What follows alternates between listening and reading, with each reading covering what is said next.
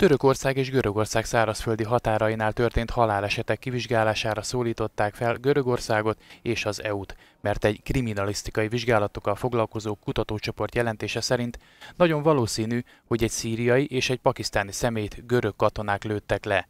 Mindkettejük halála azután történt, hogy Törökország megnyitotta határait Európa irányába. Az Európai Bizottság szerint nem az ő feladatuk a vizsgálat, de szükségesnek tartják.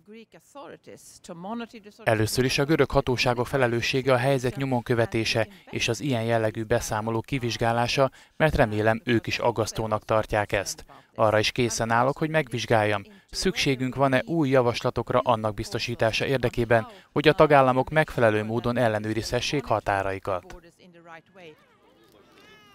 Atén ragaszkodik ahhoz, hogy ezek az állítások kizárólag a török propaganda részei, és nincs bizonyíték arra, hogy görög katonák lőfegyvert használtak. Görögország jelenleg Líbia és Marokkó lezárása után szinte az egyetlen belépési pont Európába az összes szerencsétlen ember számára.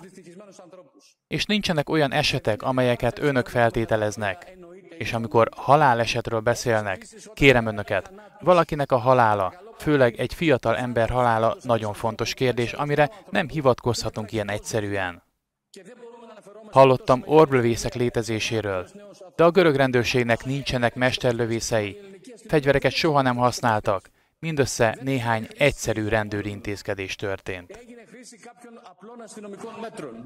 Az ENSZ menekültügyi ügynöksége azzal kapcsolatban is sürgeti Görögországot, hogy vizsgálják meg a migránsok visszaküldését az ország tengeri és szárazföldi határain.